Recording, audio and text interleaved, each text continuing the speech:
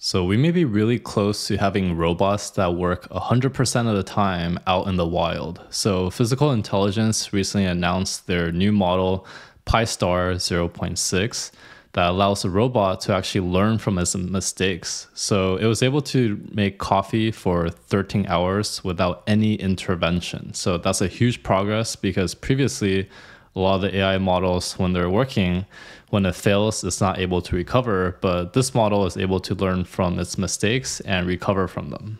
If you're new here, my name is Kevin, and I've been doing robotics and AI for 10 plus years and have lots of resources on my channel.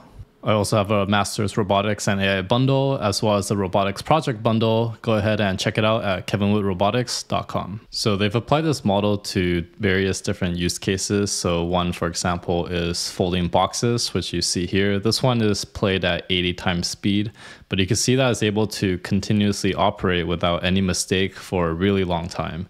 And next example that you can see here is that they have another one here where they're folding clothes. So this right here is a totally new environment that the robot has never seen before. So it's able to autonomously fold clothes pretty accurately without any mistakes and no intervention as well. So this is huge progress in terms of deploying robots out in the wild because you should be able to handle unseen things and do it reliably, which is what this new model addresses. So they're able to do this using a technique they call RECAP, which is called RL with experience and corrections via advantage conditioned policies. So the idea is they're using reinforcement learning to basically have the model figure out the difference between good and bad action. So they're able to do this with some intervention. So you can see right here during the training process, they intervene to give it feedback. So here's a clip of it you can see here. So part of it is autonomous. And then when the user sees there's something wrong,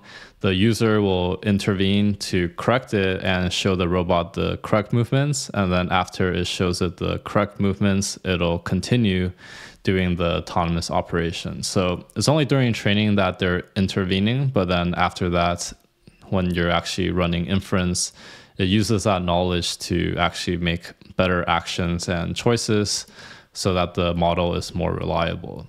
So you can see right here, this is some examples. You could read it through, but they have this special thing is called the value function. So it goes from zero to one. And basically, the closer you are to one, you can see as I drag it here, it means that there's a higher likelihood of making the right actions, getting closer to completing the task. And then when the value is lower, you can see the white graph here that's peaking down. It means there's a lower probability. So this helps some of the model give uh, kind of guided to you know not stay in the low region for too long. So it is in a way uses this value as a feedback loop to make better decisions. So you can see right here, this is the general structure of what's happening. So right here we have the pi 0.6 model and you have the advantage value function right here. This is what we just talked about. So this is kind of making it adjust the different choices that it makes. And then the intervention here, as we talked about, you can see this is being passed through that allows some of the RL to learn from its mistakes. And here you see these are some of the graphs showing the performance for here we have box assembly, laundry, making espresso, another box assembly one. This uh, laundry, t-shirt, shorts, and hardest items. You can see the success rate is getting very close to 100. So I'm thinking in pretty short amount of time, we might be able to see some of these robots be deployed in the wild and actually work close to almost all the time. So go ahead and check out this blog. You could read more about some of their latest updates. They also have a paper that they released recently too, so you could go ahead and check it out to read more about their implementation details. All right, if you found this video helpful, give a like and subscribe, and I'll see you in the next one.